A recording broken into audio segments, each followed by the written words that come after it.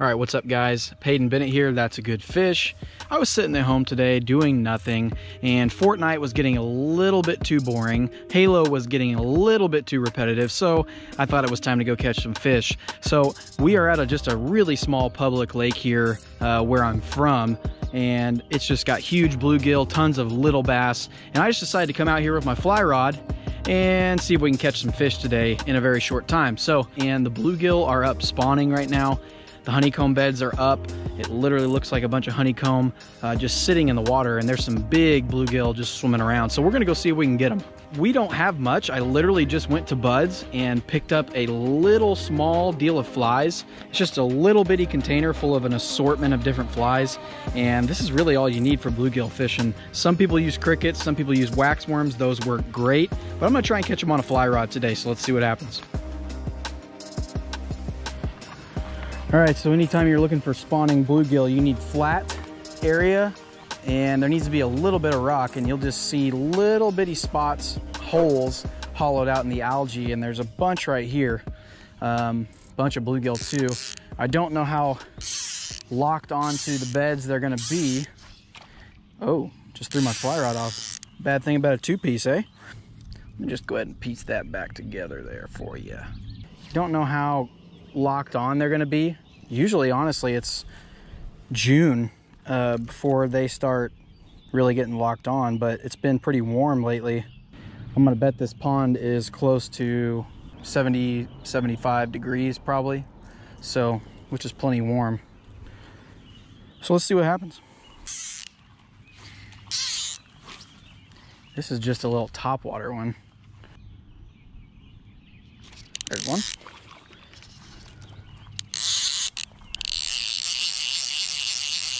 Fun to catch. This one's not even that real that big, really. But nice fish. He's peeing for you guys. Everyone likes to eat crappie, and I do too. They're really good. Walleye are the best. Just can't catch them. Um, but if you get bluegill big enough, this size, they're just as good as crappie in my opinion really good to eat. I'm gonna let this guy go. I'm not gonna keep any today. See you, pal. I think we might have a good one here. A little better one. Feels like a grown fish.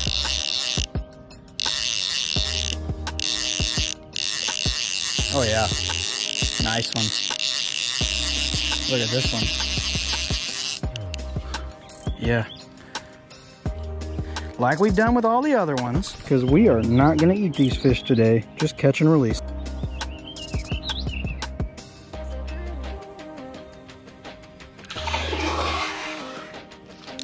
Man, they're so quick. There's one.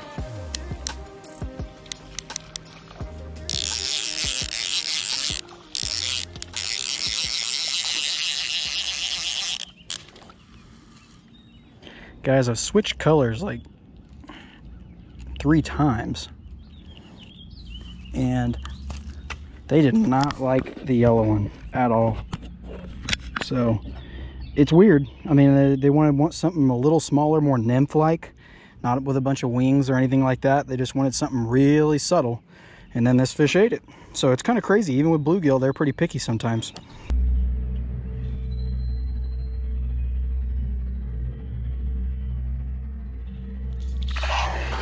There's about 30 more out there, so we'll see how spooky they are now that I caught one of their buds.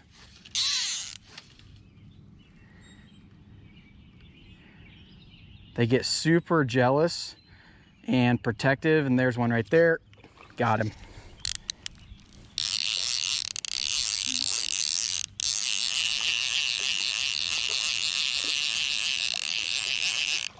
And there we go. There's another guy. Not bad.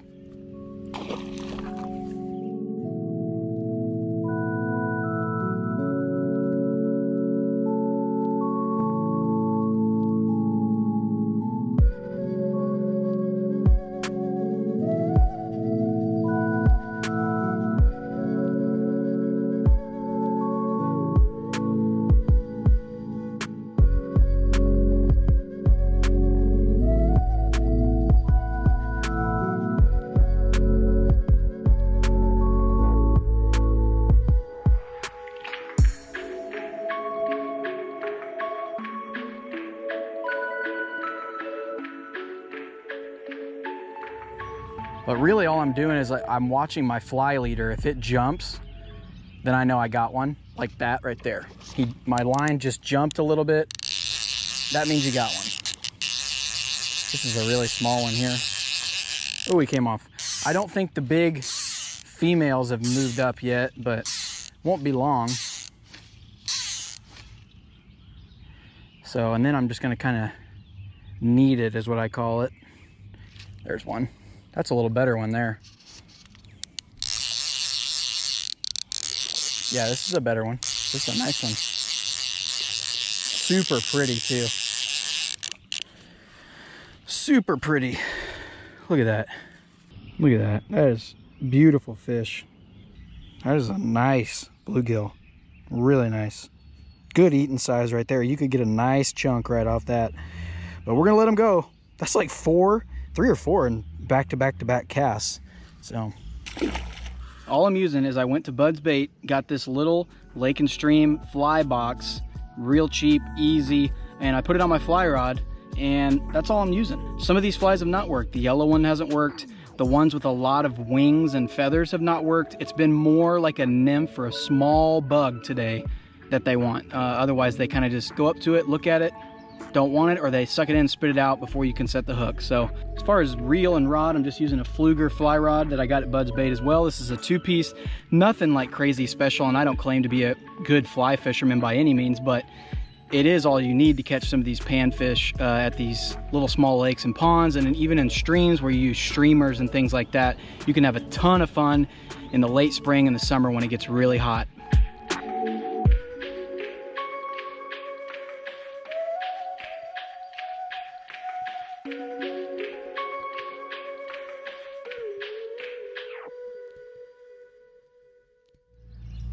Watch your fly line and just kind of barely pulling.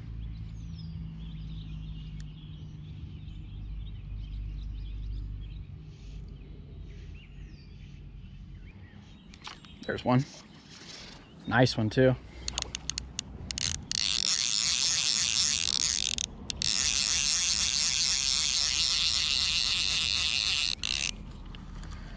There he is. Oop, there he goes.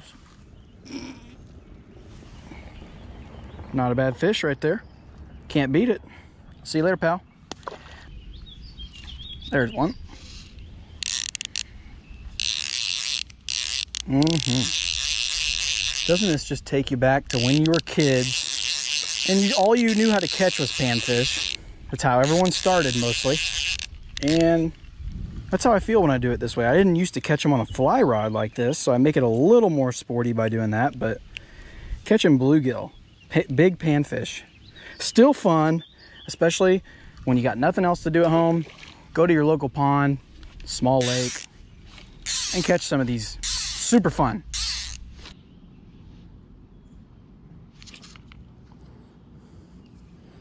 Fish on. Mm. Oh, he's taking me into the bushes. Oh. Don't want to lose this fish, guys. Oh, look at that jump. Look at that. Oh, panfish. And he's peeing for you guys. Not bad. He gone.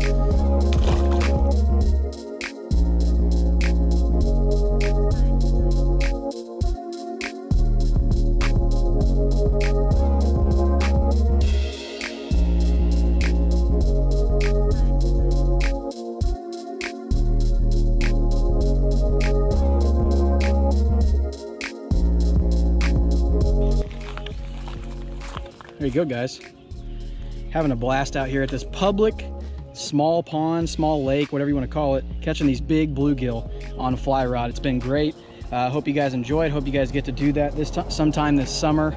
Uh, it's a great way to stay cool and just catch fish, and that's what it's all about. So if you have any questions or anything about what I'm doing, um, put it in the comments below. And otherwise, just please subscribe and check out more That's a Good Fish in the future. Thanks.